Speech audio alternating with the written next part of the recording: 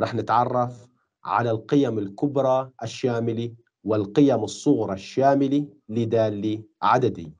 طلابنا أنا عندما أقول قيم أقصد بذلك صور يعني fx أكبر الصور وأصغر الصور. خلونا نشوفهم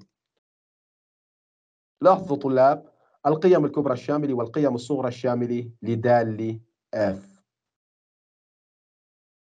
انظر. إلى الرسم هنا. هذا مستوى إحداثي ولنفرض أن الخط البياني للدالة أصبح بهذا الشكل. انظر. انظر إلى هذه النقطة. هذه النقطة A إكساتا x صفر. واياتا f x صفر. الوايات اللي هي f x صفر هي أكبر قيمة للوايات. هاي الوايات اللي هي f x صفر هي أكبر قيمة للوايات. يعني ألو... ما في إكسات صورهن راح تكون أكبر من f x صفر.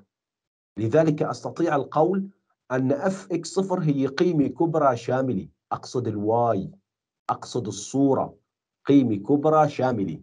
بالمقابل طلابنا مثلا أنا إذا كانت في عندي هاي الرسمة مثل ما كنتم شايفين الكل لاحظ هذا هو الخط البياني لدالة. انظر هنا هاي النقطة A إكساتا x صفر واياتا هاي هي. f x صفر. f x صفر راح تكون هي أصغر الصور لأنه ما في x وفق مجموع التعريف الدالي اللي خطه هون صورتها أقل يعني واياتها أقل من f x صفر. لذلك راح نقول جميع الصور أكبر من f x صفر. فتكون هنا في الرسم الثاني f x صفر قيمة كبرى شاملة. لذلك أستطيع القول وفق التعريف التالي اللي بخص القيم الكبرى الشاملة والقيم الصغرى الشاملة.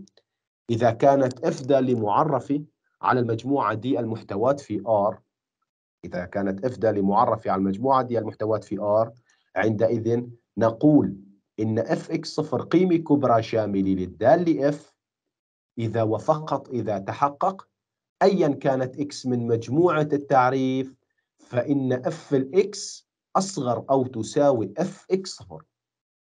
جميع الصور أصغر منها أي x من مجموعة التعريف صورة x أصغر من صورة ال x صفر. عندئذ f x صفر قيمة كبرى شاملة.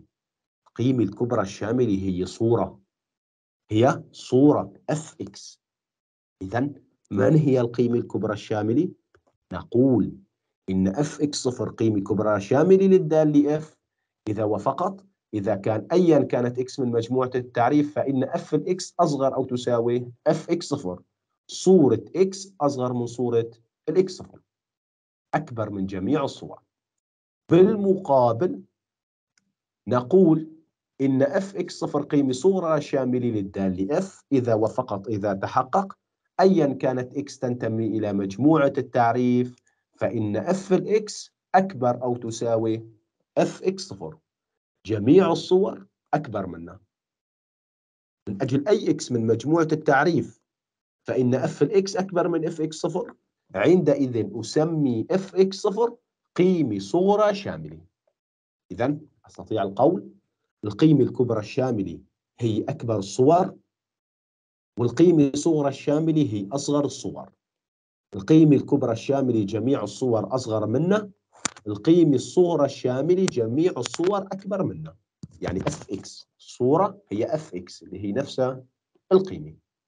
على سبيل المثال طلابنا إذا أنا قلت لك لدي الدالة f x التي تساوي cosine x جميعنا يعلم أن cosine x معرفة على كل R جميعنا يعلم أن cosine x معرفة على كل R قال أثبت أن لهذه الدالة قيمة كبرى شاملة وقيمة صغرى شاملة لاحظوا طلاب.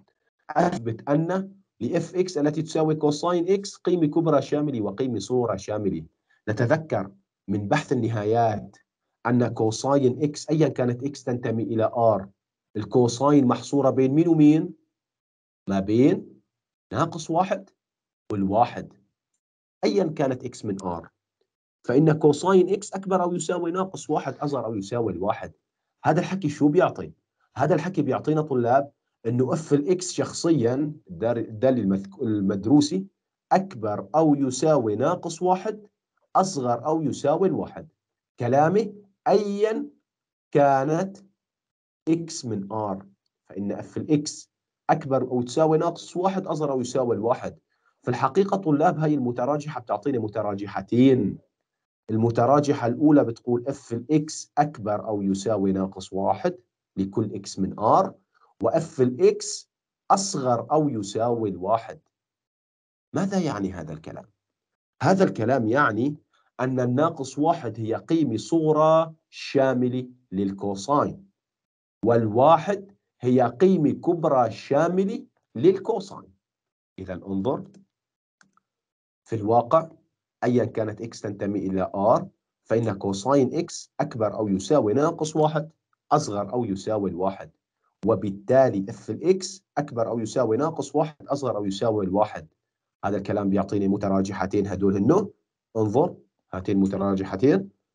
f ال x أكبر أو يساوي ناقص واحد ايا كانت x من R فإن الناقص واحد قيمة صغرى شاملة للداله f و f ال x أصغر أو يساوي الواحد والواحد قيمة كبرى شاملة للداله f لذلك أستطيع القول cosine x القيمة الصغرى الشاملة لها الناقص واحد يعني f x يساوي ناقص واحد قيمة صغرى شاملة و f x يساوي الواحد قيمة كبرى شاملة بالحقيقة طلاب بالحقيقة لحتى أنا أحصل على القيمة الكبرى الشاملة وعلى القيمة الصغرى الشاملة أنا بحاجة لشو؟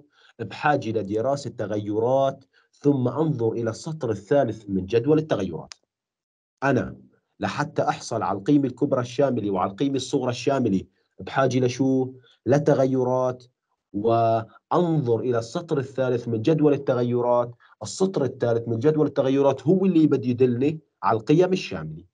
نعم السطر الثالث من جدول التغيرات هو اللي راح يدلني على القيم الشاملة ولكن في الحقيقة إذا أنا درست التغيرات وحصلت على السطر الثالث من جدول التغيرات على ناقص لا نهاية. السطر الثالث من جدول التغيرات وجدت الناقص لا نهاية. f ال x عم تسعى للناقص لا نهاية. في جوار مين؟ ما بيهمني. f ال x ساعت للناقص لا نهايه ما عاد في قيمة صغرى شاملة. بالمقابل لو وجدت أنا في السطر الثالث من جدول التغيرات زائد لا نهايه f ال x ساعت للزائد لا نهايه ما عاد في قيمة كبرى شاملة. لأنه طالما f ال x عم تسعى للزائد لا نهايه ما عاد في الكبرى شاملة. وطالما F ال X عم تسعى للناقص لا نهايه ما عاد في قيمة صغرى شاملة. لذلك أستطيع القول وفق الملاحظة التالي إذا سعت الدالة F في جوار نقطة إلى زائد لا نهاية عندئذ هذه الدالة لا تملك قيمة كبرى شاملة لأن القيمة صورة والصورة هي Fx بالمقابل إذا سعت الدالة F في جوار نقطة A إلى الناقص لا نهاية عندئذ هذه الدالة لا تملك قيمة صورة شاملة. إذا سعت دالة F في جوار نقطة A إلى الزائد لا نهاية عندئذ هذه الدالة لا تملك قيمة كبرى شاملة. بالمقابل إذا سعى الدالة F في جوار نقطة A إلى الناقص لا نهاية عندئذ هذه الدالة لا تملك قيمة صورة شاملة. وهذا الشيء من وين بدي أحصل عليه؟ بدي أحصل عليه من دراسة التغيرات والسطر الثالث من جدول التغيرات. على سبيل المثال إذا أنا قال لي مثال لتكن لدي الدالة fx التي تساوي x مربع زائد 2x مثل ما كنتم شايفين. Fx التي تساوي x مربع زائد 2x المعرفة على كل r. كثيرة حدود. أثبت أن لهذه الدالة قيمة صورة شاملة. ومنضيف سؤال هل تملك f قيمة كبرى شاملة؟ أروحوا لنشوف. كيف أنا بدي أثبت أنه لهالدالة قيمة صورة شاملة؟ وهل تملك قيمة كبرى شاملة؟ ماذا سوف أفعل طلابنا؟ سوف أدرس التغيرات. وأنظر إلى السطر الثالث من جدول التغيرات. دراسة التغيرات صرنا نعرفها الكل. أول شيء مجموعة التعريف. D F هي R من ناقص لا نهاية إلى الزائد لا نهاية لأنها كثيرة حدود. و F مستمرة واشتقاقية على مجموعة التعريف. بدي يوجد النهاية عند الناقص لا نهاية وعند الزائد لا نهاية. نهاية F X لما X تسعى إلى الناقص لا نهاية نهاية الحد الأعلى كثيرة حدود عند الناقص لا نهاية. والتي تساوي نهاية ال X مربع. ناقص لا نهاية للتربيع زائد لا نهاية. لا نهاية عند اللا نهاية لا يوجد مقارب نهاية F X لما X تسعى إلى الزائد لا نهاية أيضا الحد الأعلى. نهاية X مربع لما X تسعى إلى الزائد لا نهاية. زائد لا نهاية للتربيع زائد لا نهاية كمان لا يوجد مقارب بنشتق انظر. نتذكر كانت F X بهذا الشكل؟ إكس مربع زائد 2 إكس نعم الفتحة إكس راح تكون 2 إكس زائد 2 طالع 2 لبرا بتصير 2 ب X زائد 1 راح ندرس إشارة الفتحة بنعدم الفتحة إكس الفتحة إكس يساوي صفر. 2 باكس زائد 1 يساوي صفر. اللي راح ينعدم هلق القوس X زائد 1 يساوي صفر. ومنه إكس يساوي ناقص 1 ومنه إكس يساوي ناقص 1 بنوجد صورة الناقص 1 هون. ناقص 1 للتربيع 1 زائد 2 بناقص 1 ناقص 2 1 ناقص 2 ناقص 1 نعم إشارة الفتحة هي إشارة الإكس زائد 1 ساوى الصفر عند الناقص 1 قبل الناقص 1 سالب بعد الناقص 1 موجب. راح أخليكم هلا تستغنوا عن جدول الإشارة. مباشرة تضموا لي إياه لجدول التغيرات. انظروا طلاب جدول التغيرات. X F فتحة X F X. X من ناقص لا نهاية للزائد لا نهاية. F فتحة X هو بدي أحط إشارته. كثير حدود هو X زائد واحد ساوى الصفر عند الناقص واحد. قبل الناقص واحد شو؟ سالب. بعد الناقص واحد موجب مثل ما كنتم شايفين. صورة الناقص واحد ناقص واحد وضعتها هون بالنص في السطر الثالث. النهاية عند الناقص لا نهاية زائد لا نهاية والنهاية عند الزائد لا نهاية زائد لا نهاية. لما تكون الدالة المشتق سالب الدالة متناقصة. لما يكون المشتق موجب الدالة متزايد. كما ترون جميعا طلابنا. انظروا كيف إنه نحن هون حصلنا على جدول التغيرات. جميعنا الآن يمعن النظر في السطر الثالث من جدول التغيرات. جميعنا يوجه أنظاره على السطر الثالث من جدول التغيرات. لنبدأ من أقصى اليسار. F ال X كانت عند الزائد لا نهاية شوف عيني على المؤشر. نقصت. تناقصت تناقصت حتى وصلت الناقص واحد. وفق الصورة. ثم تزايدت. F ال X نقصت حتى وصلت الناقص واحد ورجعت طلعت. شو يعني هالكلام هذا؟ هذا الكلام بيعني إنه الناقص واحد قيمة صغرى شاملة للدالة F بس ما بكتبها ناقص واحد حاف بكتبها F الناقص واحد يساوي الناقص واحد. لاحظوا طلاب F الناقص واحد يساوي ناقص واحد قيمة صغرى شاملة للدالة F لأن القيم الكبرى الشاملة والقيم الصغرى الشاملة صور. نعم نقصت الدالة تناقصت حتى وصلت الناقص واحد ثم تزايدت. F الناقص واحد يساوي ناقص واحد قيمة صغرى شاملة للدالة F طيب رجع سألني عم بيقول لي هل تملك الدالة F قيمة كبرى شاملة؟ لاحظوا طلابنا انظر. أنا شو شايف في السطر الثالث؟